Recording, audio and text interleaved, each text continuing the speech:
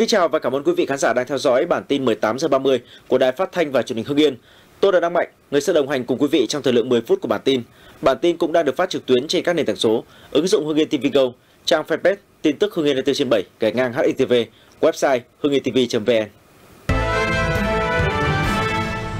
Sáng nay, Ban cán sự Đảng Ủy ban nhân dân tỉnh Hưng Yên tổ chức họp với các thành viên để xem xét cho ý kiến về việc điều chỉnh bổ sung một số tuyến đường trong quy hoạch tổng thể giao thông vận tải tỉnh Hưng Yên giai đoạn 2011-2022. Tại phiên họp, các đại biểu đã tập trung cho ý kiến về việc điều chỉnh bổ sung 15 tuyến đường tỉnh trong quy hoạch tổng thể giao thông vận tải tỉnh Hưng Yên giai đoạn 2011-2022 và định hướng đến năm 2030. Kết luận hội nghị, Chủ tịch Ủy ban nhân dân tỉnh Trần Quốc Văn yêu cầu Sở Giao thông Vận tải phối hợp với các sở ngành các huyện, thị xã, thành phố tiếp tục giả soát điều chỉnh, bổ sung một số tuyến đường cho đồng bộ, phù hợp với quy hoạch vùng, quy hoạch xây dựng và quy hoạch ngành. Trong quá trình thực hiện, cần gắn với quy hoạch phát triển mạng lưới vận tải, việc đặt tên các tuyến đường phải xong sớm trước khi phê duyệt chủ trương đầu tư. Ủy ban nhân dân tỉnh Hưng Yên vừa đồng ý chủ trương tạm ứng 42 tỷ đồng từ quỹ phát triển đất tỉnh để thực hiện giải phóng mặt bằng đường vành đai 4 vùng thủ đô Hà Nội, đoạn qua địa bàn tỉnh. Theo đó, phân bổ cho huyện Văn Lâm và Văn Giang mỗi huyện 11 tỷ đồng, huyện Yên Mỹ và Khói Châu mỗi huyện 10 tỷ đồng. Từ nguồn kinh phí này, các địa phương triển khai một số nhiệm vụ cấp bách để giải phóng mặt bằng đường vành đai 4 qua địa bàn. Trước mắt, một số địa phương sẽ dùng kinh phí này để tạm ứng tiền hỗ trợ di rời mồ mả cho nhân dân. Việc tạm ứng kinh phí hỗ trợ nhằm giúp nhân dân yên tâm và thuận lợi trong việc di rời mồ mả. Theo tiến độ được giao, đến hết tháng 6 năm 2023, tỉnh Hưng Yên phải bàn giao ít nhất 70% mặt bằng cho dự án đường vành đai 4. Sáng nay, Hội đồng Nhân dân huyện Văn Giang khóa 20 tổ chức kỳ họp lần thứ 5, nhiệm kỳ 2021-2026.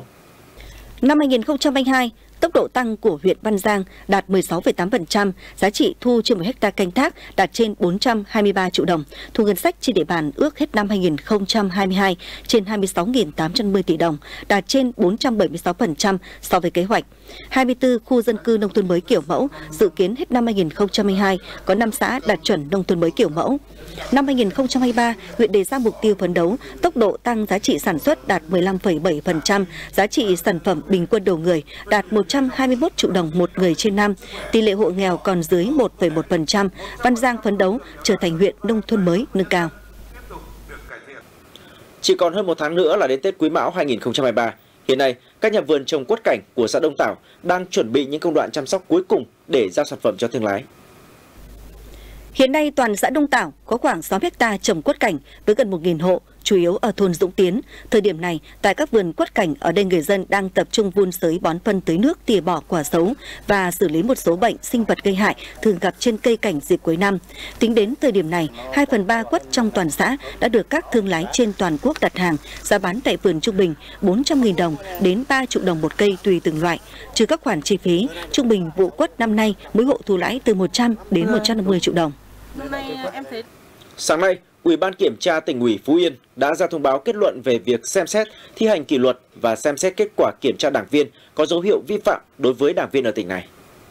Theo đó, ông Nguyễn Tấn Trân, Phó Chủ tịch Hội đồng Nhân dân Phú Yên, khi còn làm Phó Bí thư huyện ủy, Chủ tịch Ủy ban Nhân dân huyện Tây Hòa đã thiếu trách nhiệm, buông lỏng công tác lãnh đạo quản lý để Ủy ban Nhân dân huyện và một số phòng ban chuyên môn vi phạm pháp luật về đất đai, bồi thường hỗ trợ tái định cư, vi phạm quy định về những điều đảng viên không được làm, trách nhiệm nêu gương của cán bộ đảng viên, trách nhiệm người đứng đầu. Những vi phạm của ông Trân gây hậu quả nghiêm trọng, ảnh hưởng đến uy tín tổ chức đảng cơ quan, nơi công tác và cá nhân ông Trân đến mức phải xem xét xử lý kỷ luật, nên Ủy ban Kiểm tra tỉnh ủy Phú Yên đề nghị cấp có thẩm quyền kỷ luật đảng theo quy định. Sở Giáo dục và Đào tạo Thành phố Hồ Chí Minh yêu cầu các trường tiểu học tổ chức ôn tập kiểm tra cuối học kỳ 1 ngay trên lớp học, không giao bài tập về nhà đối với lớp học hai buổi trên ngày, không soạn đề cương bài mẫu, bắt buộc học sinh làm, không tổ chức học thuộc lòng bài mẫu.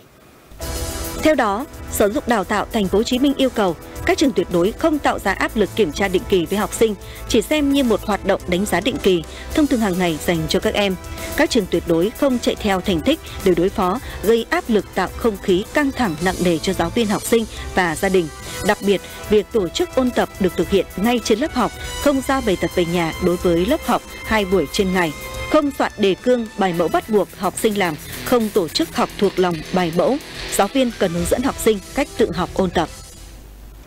Trong cuộc thi tuần 3 tháng 3 quý 1 của đường lên đỉnh Olympia năm thứ 23, em Đỗ Lê Thanh Tùng, Trung học phổ thông Mỹ Hảo đã xuất sắc lọt vào cuộc thi tháng 3 đường lên đỉnh Olympia.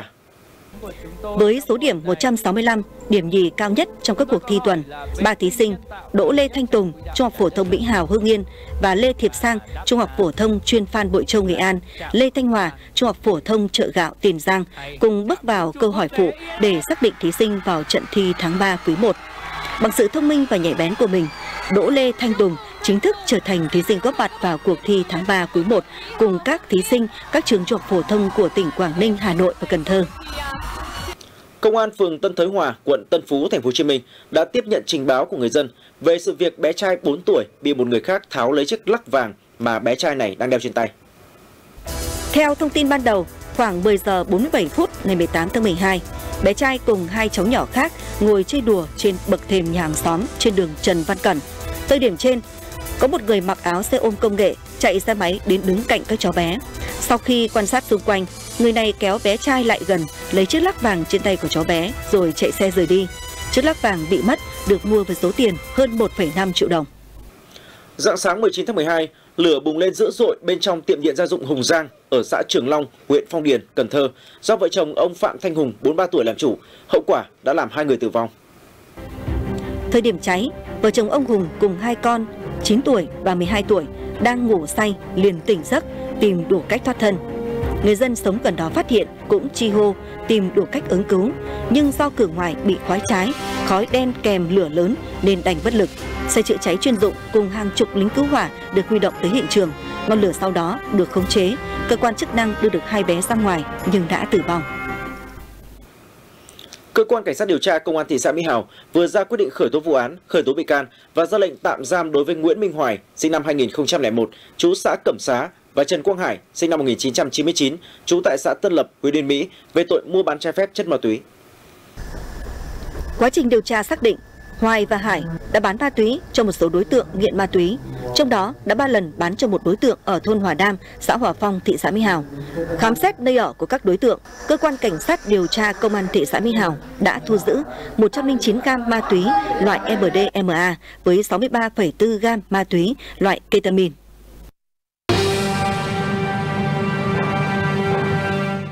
Các nhà chức trách Đức thông báo hầu hết các món đồ trang sức bị đánh cắp trong vụ trộm kho báu của bảo tàng Greenfell thuộc cung điện hoàng gia ở thành phố Dresden vào năm 2019 đã được thu hồi.